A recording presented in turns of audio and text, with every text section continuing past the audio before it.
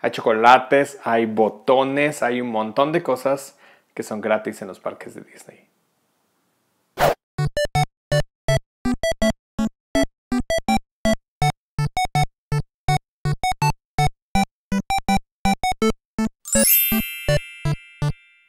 Hola Disney Geeks, yo soy Alfredo. Yo soy Gus. En este video vamos a hablar de 12 cosas que son gratis En los parques de Disney. Una de las cosas que puedes encontrar gratis en los parques de Disney es agua, ya sea en bebederos o puedes ir a los restaurantes de comida rápida y pedir un vaso con agua, con hielos incluso si te gusta más fría. Los botones son una de esas cosas que todo mundo cuenta como un souvenir al momento de llegar a uno de los parques. Te pueden dar uno de reunión familiar, de recién casados, si es tu primer visita al parque. Lo único que tienes que hacer es dirigirte al City Hall. Llegas ahí y dices, oye, me regalas un botón y así. Incluso si te portas muy bien, puede que te den este botón, que es el de ciudadano honorario del parque. Para los amantes de chocolate, en Disney California Adventure y en la tienda de chocolates Ghirardelli en Disney Springs, puedes entrar y te regalan un chocolate de sabores típicamente de temporada. En la entrada hay una señorita que está entregándole a todos los que pasan por la puerta un chocolate como este de los cuadritos de Girardelli. Hay gente que incluso pasa más de una vez por la entrada de Girardelli.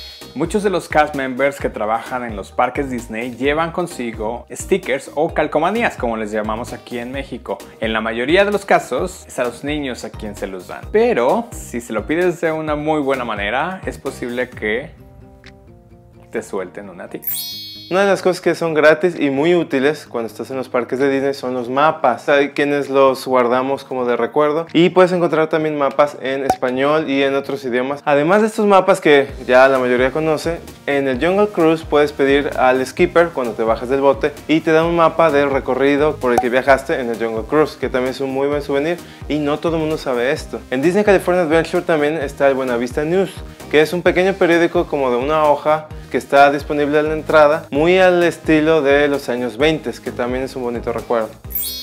Autopia es una de las atracciones clásicas de Disneyland. La próxima vez que entres, no olvides a la salida pedirle una licencia de conducir a uno de los cast members, porque podrían entregarte una como esta. Incluso puedes encontrar unas máquinas donde puedes tomarte una foto para que se la pegues a tu licencia. Esa sí te la cobran, pero esta no. En los juegos donde acabas empapado, no como Splash Mountain que te puedes mojar, pero los que acabas realmente empapado como el Grizzly River Run, hay la opción de dejar tus cosas en un locker de manera gratuita por hasta dos horas. Esto también no todo el mundo lo sabe, pero pregunta a los cast members y ellos te pueden indicar dónde puedes dejar tus cosas sanas y salvas lejos del agua para que no te apures por acabar empapado.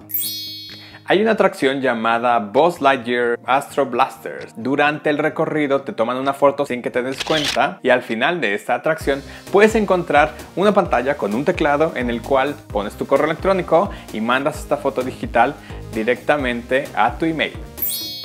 En Walt Disney World, todos los parques, todos los hoteles y Disney Springs tienen Wi-Fi gratis, entonces aprovechalo la próxima vez que estés en los parques.